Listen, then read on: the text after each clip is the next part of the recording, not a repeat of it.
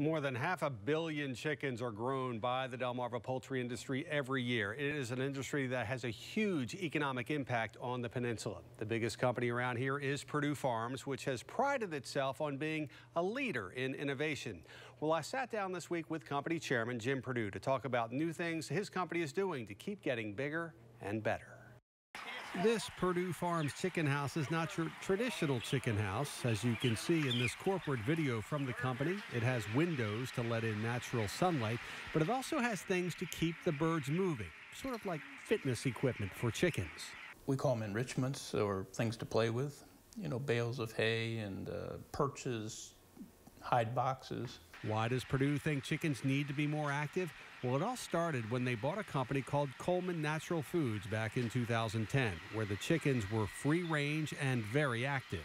And really, the, the impetus for it was organic chickens. When We bought Coleman Organic, and we're now the largest organic chicken producer. We found that the meat seems to be uh, superior and uh, premium meat. It's tender, um, has a lot of positive qualities. So Perdue is looking to see if those positive qualities are the same for all Perdue chickens, not just organic. Basically, we measure the activity of our chickens. The chickens, as Bruce Stewart Brown, our veterinarian, will tell you, they do four things. They eat, drink, sleep, and mess around.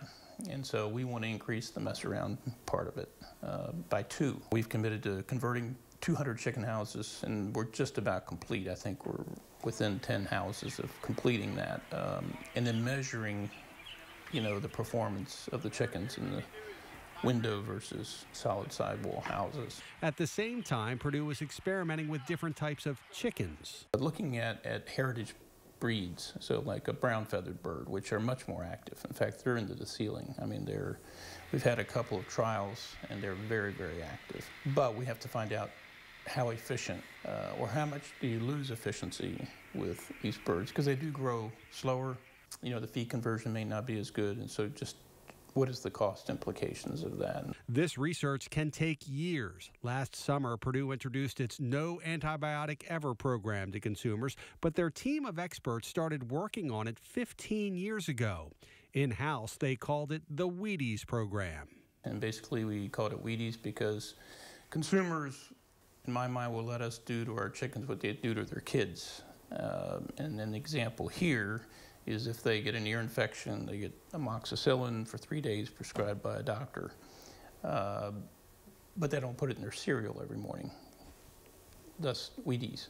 Uh, whereas what the traditional, what we were doing, you know, 10, 15 years ago, and what the industry still does is is puts antibiotics in the feed every day. Not anymore at Perdue. Now antibiotics are replaced by natural antioxidants, including herbs like thyme and oregano. For example, there's a uh, there's a parasite in chickens called coccidiosis, and it turns out that uh, these these herbs have a uh, beneficial effect uh, as antioxidants. Perdue is trying to build a better tasting chicken for the right price, but a lot of it hinges on what the consumer wants.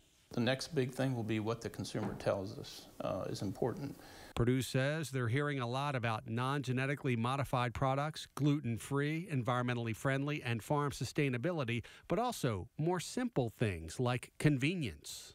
Certainly, anytime you can be more convenient for the consumer, like shortcuts or perfect portions, which solves a problem for them, they will, they will jump on, on a product that, that saves them time and solves the biggest problem of the day, which is what are we going to have for dinner?